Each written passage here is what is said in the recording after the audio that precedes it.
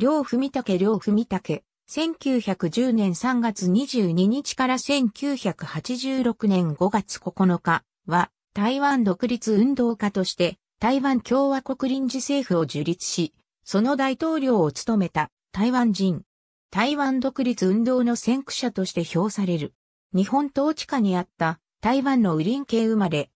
1936年から1939年まで中国石膏省の石膏大学で教授を務めたことから、梁は台湾総督府からキーの対象とされた。そして、1941年の真珠湾攻撃による対米海戦、特攻の監視が厳しくなったことから、再び中国へと渡った。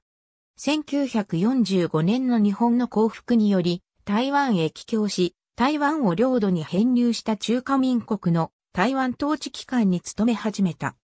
しかし、日本統治下で台湾人が受けていた種々の差別的な待遇が中華民国統治下でも変わらないことや、中華民国の台湾統治機関の腐敗に対する批判から台湾人の自治を求めるようになっていった。その後、2.28事件を切り抜けた領は、香港へと渡り、社説校と台湾再開法連盟を設立した。そして、1950年にはさらに日本へと渡り、台湾独立党を設立した。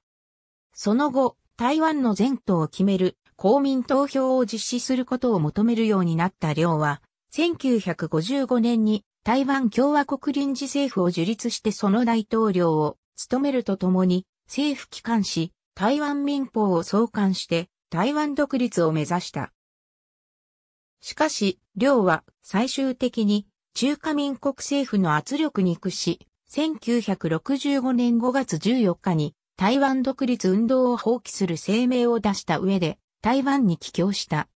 同年6月に小解析の特赦を受け、12月には国民党政府から職務を与えられる待遇を得たが、1986年の死去まで常に国民党政府の監視下に置かれた。ありがとうございます。